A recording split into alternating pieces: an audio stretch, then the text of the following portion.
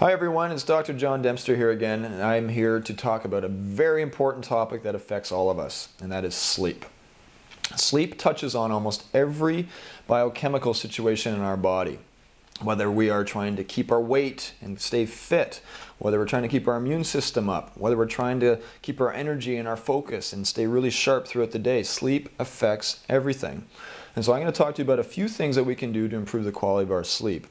And one of my favorite ways to begin this conversation is to talk about proper sleep hygiene. And a great term to think of when we're trying to improve quality sleep is think of your bedroom environment being a cold, dark cave.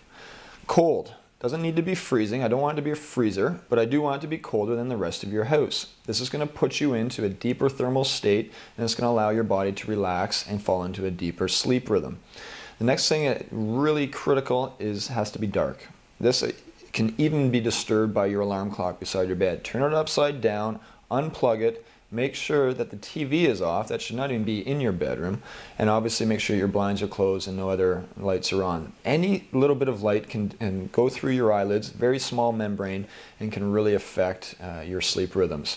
And make sure it's quiet. Okay, we don't want to be disturbed by loud noises outside. You don't want to be sleeping on a major intersection. Sometimes we can't help that, so do what you can inside. But a cold, dark cave is a great place to begin when you're trying to improve some of the quality of your sleep.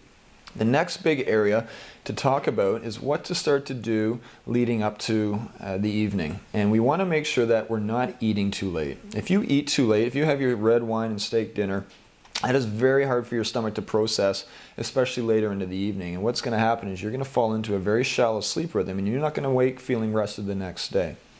So it's okay to be eating uh, at around 7 to 8 p.m., but try not to be doing 9 o'clock and definitely not 10 o'clock and beyond. You'll notice a huge difference if you make that change.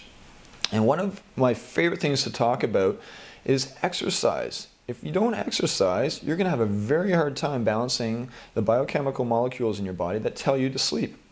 So it's best to be doing exercise throughout the day and especially in the morning. But if you have to, you do it at any time. But make sure that you are active. This is all going to help that as well. And finally, leading up to the evening, make sure that you have a one hour period before you actually go in and put your head on the pillow. You should be winding down one hour before. And that is, should be reading a book, having a hot bath, relaxing with family and friends.